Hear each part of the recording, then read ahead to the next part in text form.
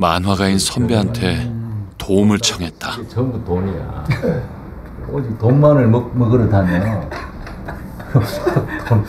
그러고 이게 살이 좀 쪄. 그래갖고 서서히 변해가지고 돈 달게 됐어.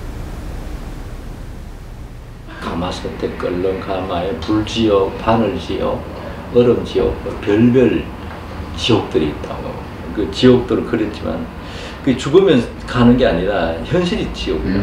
그런 상황이 되네요. 맞아요. 음. 어? 오감도에 카프카에 완전 짬뽕이야. 시와 애니메이션의 결합. 이상의 시 자체가 좀 애니메이션적인. 아 그래요. 왜냐면 어, 아이가 도로를 질주하는데 막 뛴단 말이에요. 막 뛰는데 확 가는데 딱 막다른 걸먹어요.